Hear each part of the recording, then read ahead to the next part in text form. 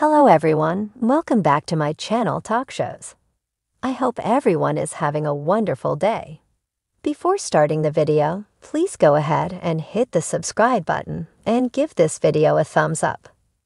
The mother of three has previously hinted at her retirement. On Tuesday's show, Kelly, 53, had talked with her co-host, Mark Consuelos, 52, and the crowd about her birthday the day before. She said that Mark wanted to make her day special, even though it wasn't a milestone birthday. They had dinner on the roof with two of their kids. Mark insisted on having this dinner, and it wasn't a milestone birthday, she said. It's a Monday night birthday, which we can all agree. Kelly shifted her sentence to hint at her next career venture.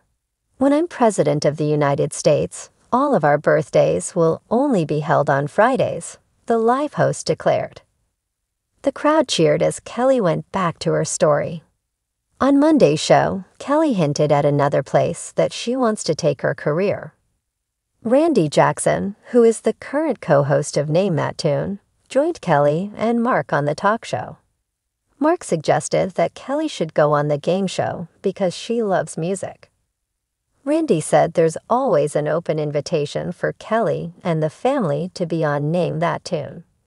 I'd love to go to Dublin, Mark said as he leaned over in this chair to tell Kelly.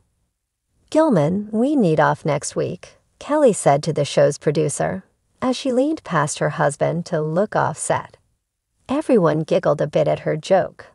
Saying goodbye in August, Kelly admitted that retiring from the show had been on her mind lately.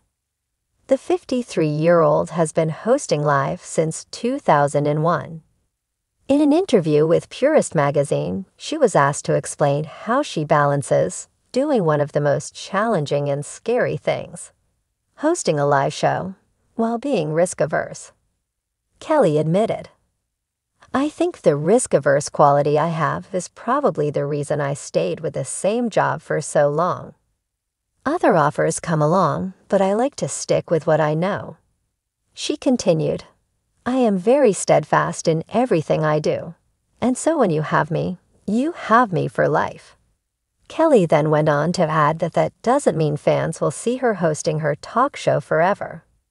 The host revealed, Having said that, I don't intend to work at this job for the rest of my life.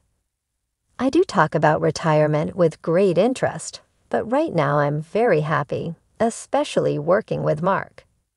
Later in the interview, she shared how she and Mark often talk about their retirement plans together.